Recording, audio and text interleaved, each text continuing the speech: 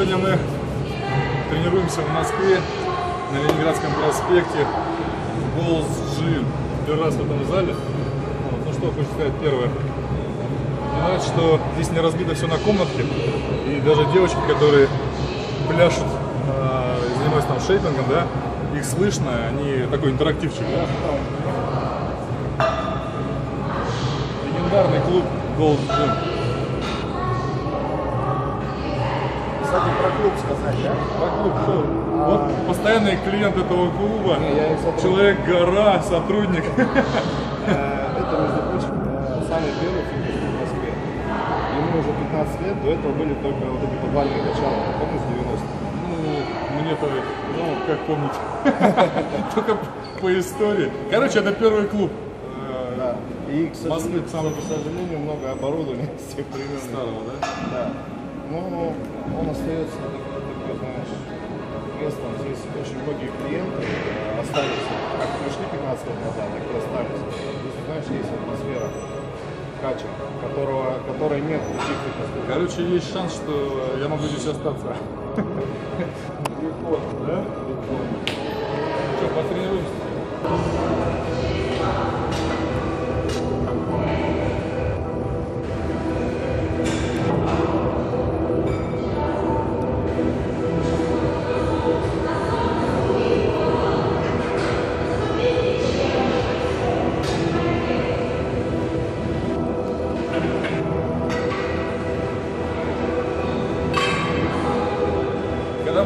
Массажиста нету, рядышком спиночку, чтобы чуть стряхнуть. Сейчас с девочкой немножко.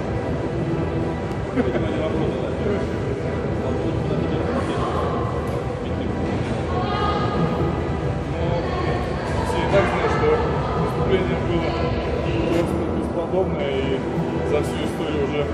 российской, наверное, тяжелой атлетики такого выступления не было, поэтому Хочется ребят поздравить от души. Э, жал- Жалею, что сам не, не был причастен к э, этому яркому выступлению. А по какой причине?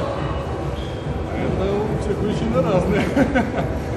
Разные причины. Возраст уже старый. Все и так уже понятно. Травмы мучают. Собственно, много людей отпадает. А что по поводу твоей категории 105 105 ну, как написал сам чемпион Нурудинов, он сказал, Локов и Акаев, вернитесь, пожалуйста, без вас так скучно. Это, это слова чемпиона мира ну, этого года.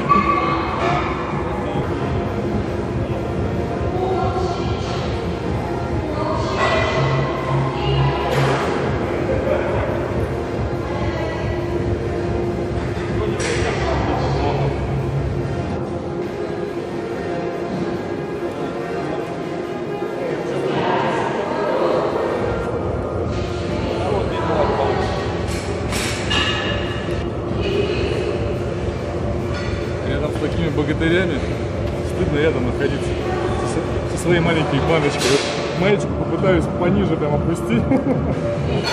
Оставим только улыбку свою.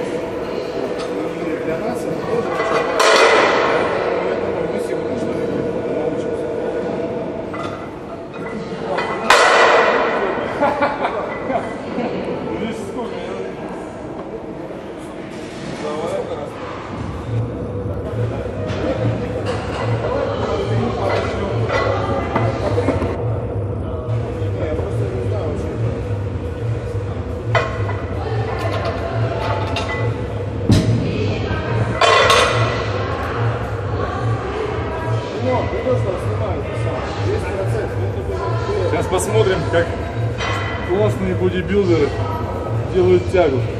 Никогда не видел. А ты делаешь не, не, не дрейворки, да? Или сейчас пока так, вот, пока просто обноты. Как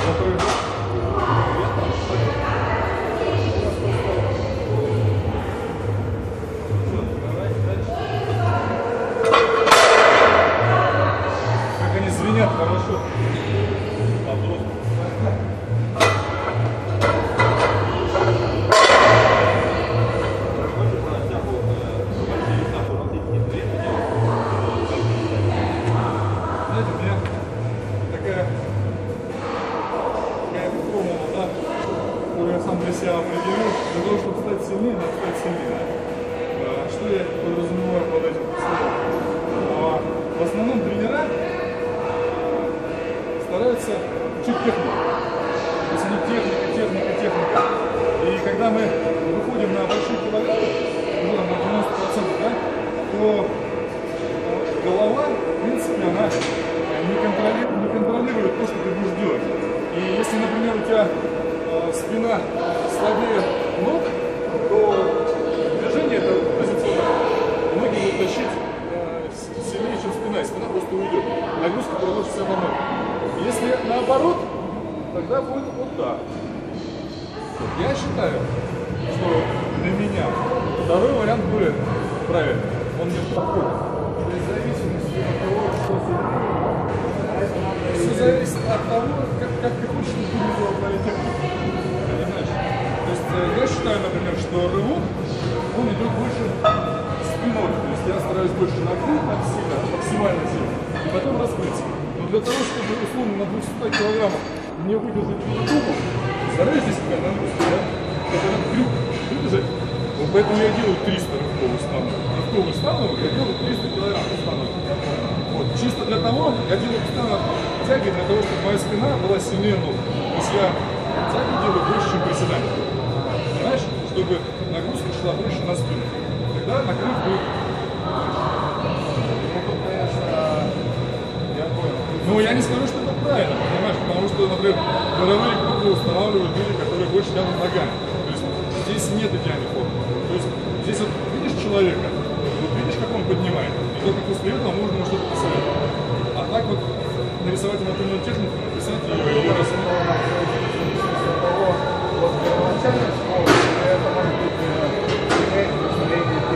Я тебе скажу так, вот какие я ошибки делал на первых своих соревнованиях, такие я делаю сейчас. То есть это вот, да, это ну, генетика, скорее всего. То есть как тебе вот какой-то есть кривой, косой, да, такой ты, в принципе, и будешь, и тяжело изменить, тяжело. Я пытаюсь, я понимаю, что это очень тяжело. Давай. Из-за этих черных э, непонятной формы блинов у нас тренировка сегодня превращается не просто в тренировку, в качалку, а еще и в урок математики. Потому что считать это очень тяжело. Привык считать цвета, а здесь приходится считать вот это вот монетки.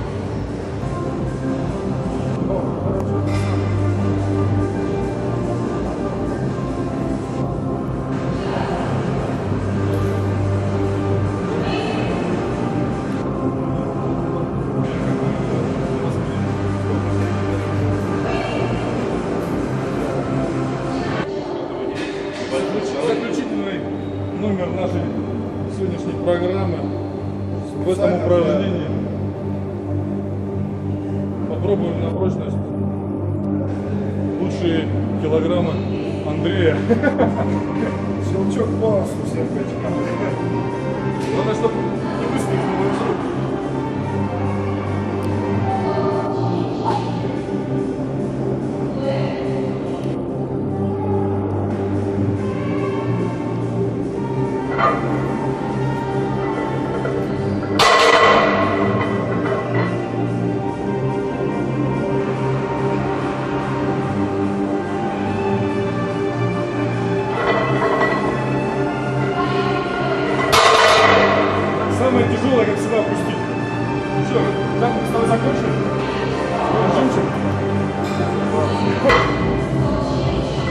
поход в зал э, отправил меня назад в прошлое. во времена Василия Ивановича Алексеева, царство ему небесное, Давида Адамовича Ригельта и других известных советских тяжелоатлетов. Ты камеру не опускай, я сейчас кое-что сделаю, а вы сами поймете.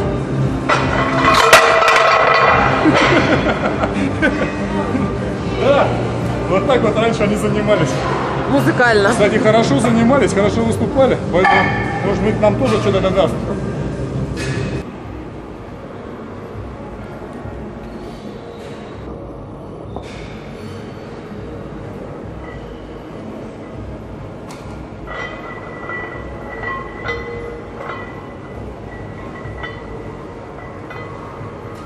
Чух! Чух! Мне знаете, что нравится? Когда поднимаешь, очень непонятные слова выскальзывают у тебя изо рта. Сейчас выскочил чух. Что это значит чух? Я- После чух. Чук, да, выскочил? Изо рта. А? Изо рта. Естественно. Кстати, бывает иногда не изо рта. Это нормально на самом деле.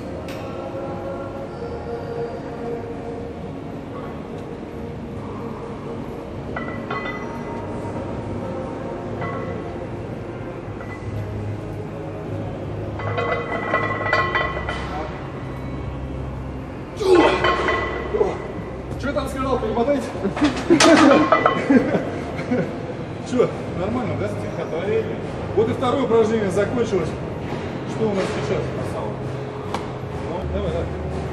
Сейчас мы поработали в таком автоматическом стиле, да, по, три раза. Вот. Для меня это была такая необычная нагрузка. Вот. А теперь, так как ты у меня, собственно, в гостях, да, вот, так как ты, знаю, увлекаешься кроссфитом, а также, я знаю, посмотрел, кстати, ролики на YouTube, ты э, э, очень уважаешь Арнольда Шварценеггера, Однозначно. Вот. Поэтому я тебе предлагаю сделать еще одно упражнение в таком качковом стиле по 12-15 раз. Я уже начал волноваться. К чему я веду, да? Да, да. Вот. Сейчас что-нибудь придумаем на, на добивочку такое. На кровь, кровь закачаем. Правильно? Окей. Так, Ну, давай.